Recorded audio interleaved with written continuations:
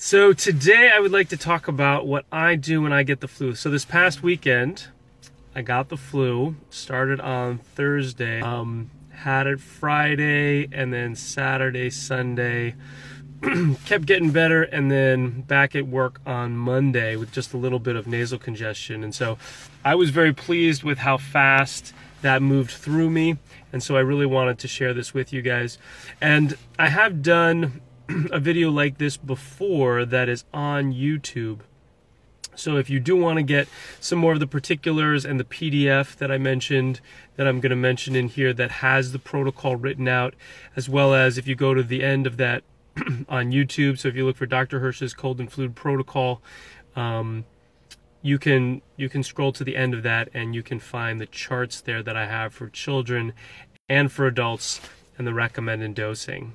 Okay, so let's jump in here. Well, first, but for those of you who are new or don't know me, my name is Dr. Evan Hirsch, and I'm a functional medicine MD, and I specialize in helping people get rid of their fatigue.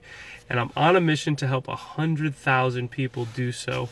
And I'm doing that through the Facebook group, these Facebook Lives, through um, the book that I wrote, and one on one consults right now. And I'm working very hard on coming out with group coaching and or online classes. So more on that soon. So let's jump in here. So a couple things. First thing we want to do is we want to kill the virus. Most of the time, well, the flu is an actual virus. It's not influenza, which is a bacteria, but generally you're you're going to have a virus which is causing the flu. Um, and so you want to kill the virus. You want to boost your immune system. And so let's talk about how to do that. So first let's talk about boosting the immune system. So what I like to do is I like to take high doses of vitamin D, so up to vitamin D3 of 2000 uh, sorry, of 20,000 international units per day. I always like to take vitamin D with a little bit of vitamin K, so I like the vitamin D Supreme from Designs for Health. And the next thing that I like to do is I like to increase my body temperature. So the body, the immune system functions better at a higher temperature. So I have a sauna, an infrared sauna in my home. So I jump in there and I increase my temperature. I'll take a warm bath um, that I also put in some uh, essential oils. This time I used Essential Immune by Byron White formulas. I put a dropper full in there. It's got a number of essential oils that are really great for breaking up. I had all the sinus stuff and headache, head pain, and so that was really wonderful.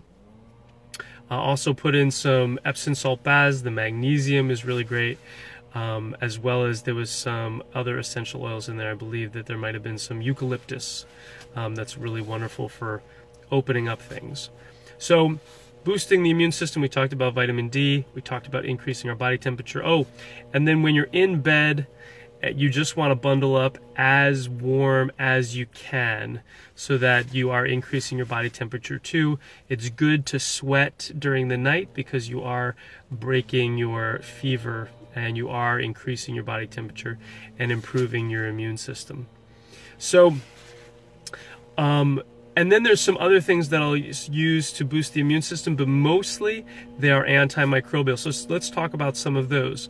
So I'll use olive leaf extract at one capsule every three hours. I'll use oregano oil at, um, and that's about 500 milligrams. I'll use oregano oil at about 300 milligrams every three hours. I'll use colloidal silver at a teaspoon um, or a tablespoon rather every three hours, or I will use um, ACS 200 Results RNA spray, which is 10 sprays every three hours. Um, I'll use monolaurin, two capsules every three hours, and that's by, um, can't remember the name, Environmental Ecologics, I believe. Um, and those are the main one that I use. And then Byron White Formulas also has a very nice product called A-SF, which is really wonderful for boosting the immune system as well as killing the bug. And that I take as a dropper every three hours. Now, when I'm feeling sicker, I'll take more. So I'll do two droppers every three hours. And then I'll also do some sprays of zinc, trying to get up to 20 to 40 milligrams of zinc. Um, you always want to consume a ton of fluids um, while you're doing this, and actually, I fast when I don't feel well. The first sign, immediately I start fasting on bone broth as well as on juices. And we're talking about like juices that you would normally do like a, a detox uh, protocol. So I'll go to the local place for juicing and I'll get like, um, you know, cucumber, kale, celery, um, lemon, lime, you know, a bunch of the nice greens. Um, some maybe there's some apple juice in there too. Usually there's a piece of fruit, um, but that's really great because it takes a lot of energy to digest your food. And the if you don't have to digest your food and you're giving your gut a break, you can use that energy then to boost the immune system and to take care of the infection. So, and then of course you want to get a lot of sleep. You don't want to do work. You want to relax your brain as much as possible. Um, you want to think good thoughts as always. But those are the main things uh, that I do. Um, oh, and then I do like pelargonium as well, which is a product called V-Clear, V-C-L-E-A-R. That's by Integrative Therapeutics. And pelargonium is a very well-researched herb that's great for decreasing the duration of any sort of cold and or flu. So this protocol I have found generally shrinks, you know, usually um, viruses, flus, colds will last seven to 10 days. That's a typical course. And I find that with this protocol, you can shrink it down to about three or four days. You just have to stay on it. You just have to take your stuff. You just have to fast. And you just have to rest.